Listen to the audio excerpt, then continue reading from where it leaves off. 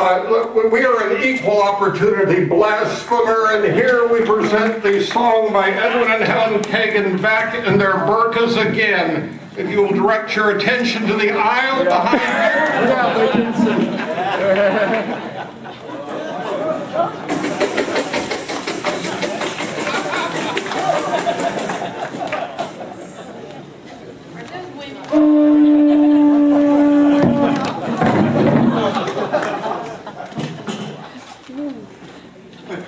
I see ankle.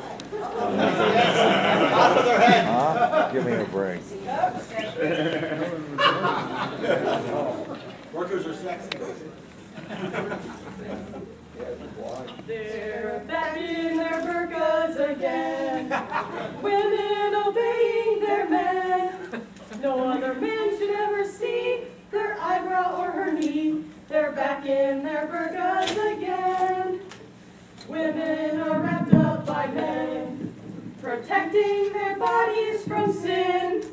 Women must comply and not tempt some lustful eyes, so they're back in their burqas again. The wrap must be shared with a friend, with sister and cousin and kin. It costs far too much with accessories and such, but they're back in their burqas again. A woman can't leave her pen while the burqa is still out on lend. So in her house she's trapped till in that horror she is wrapped till she's back in her burqa again. The burqa's a smothering affair. No garment can even compare. It gets so hot in there she can barely breathe the air. So they're back in their burqas again.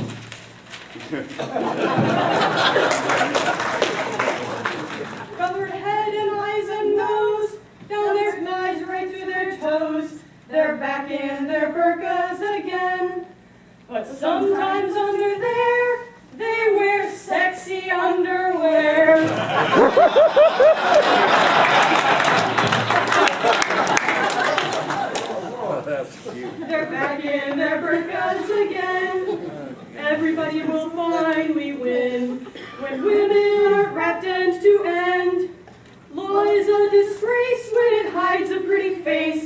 puts women in burqas again.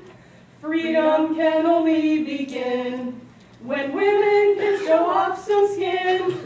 The law will have to go when all women just say no. We will not wear those burqas again.